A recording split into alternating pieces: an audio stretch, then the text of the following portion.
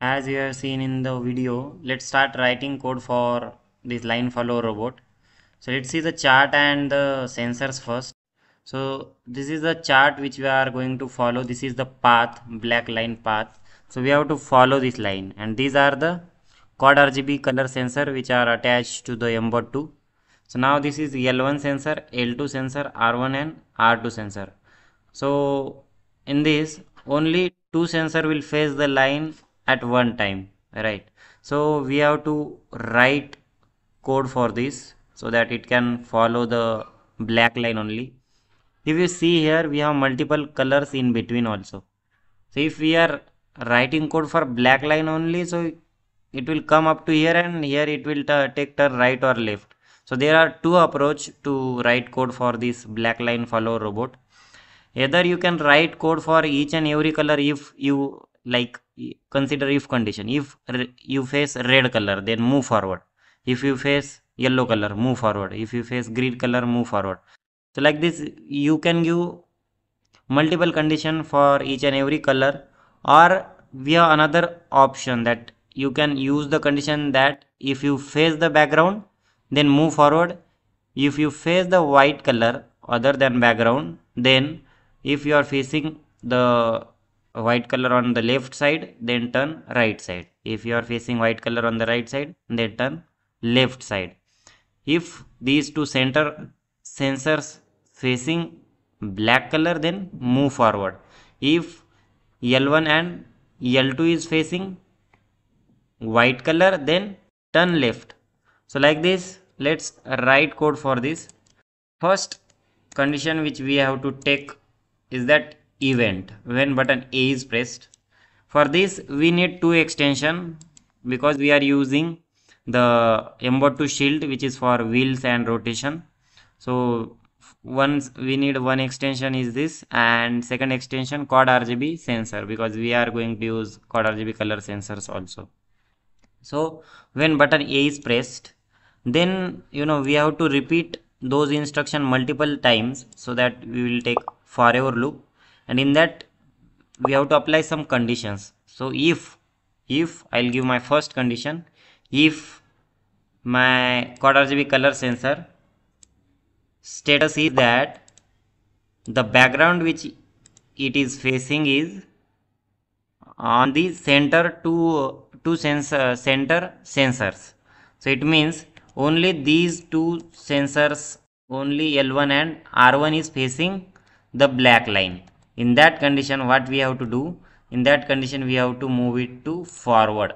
So add move forward at 50 rpm or you can write 60 rpm for speed. So i'll write move rpm uh, at 60 rpm so if i duplicate this condition in second condition. What we have to take? If background in status 0011 it means only 1 1 on r1 and r2 it means only r1 and r2 is facing background. It means we have to move left side.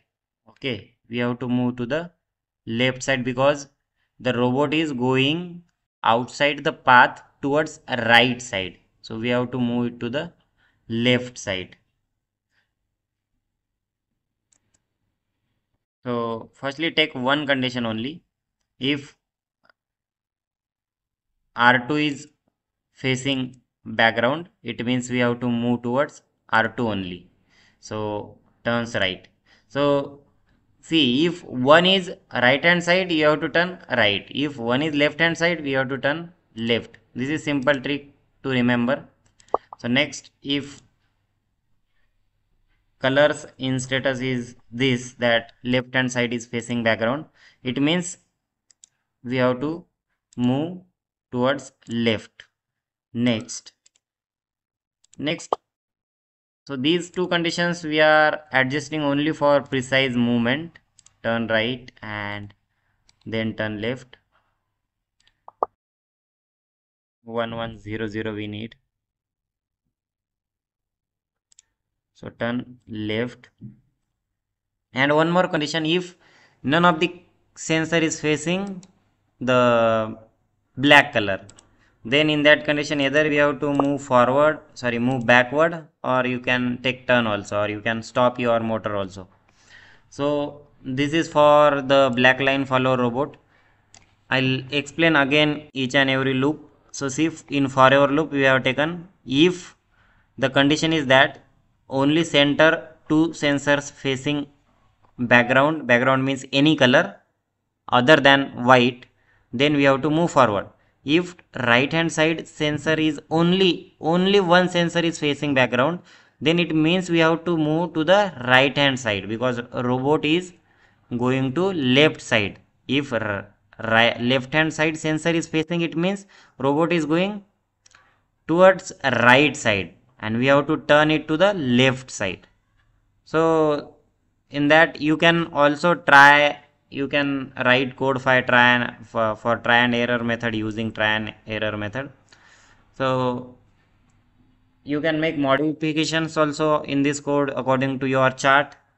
But let's upload this code and test it on mbot 2 so i'll just connect my mbot 2 to the laptop first.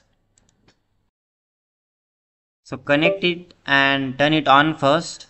After that click on uploads so that you make sure that you are in upload mode because if you are in live mode it will start executing those instructions immediately. So click on connect.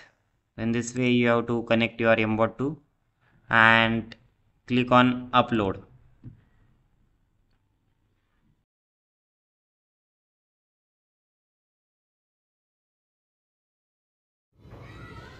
here you have to press a button. So because we have added condition when button a is pressed then and then only run the code. So if you press a button to start moving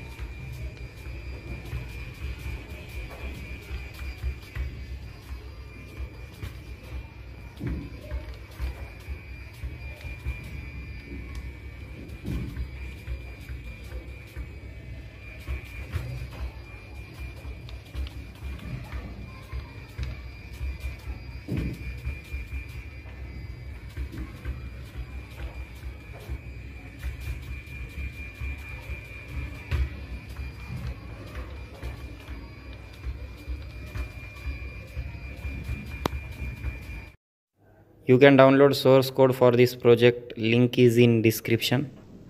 Thank you for watching this video. See you in the next video. Till then like share and subscribe for more videos on mbot2 and programming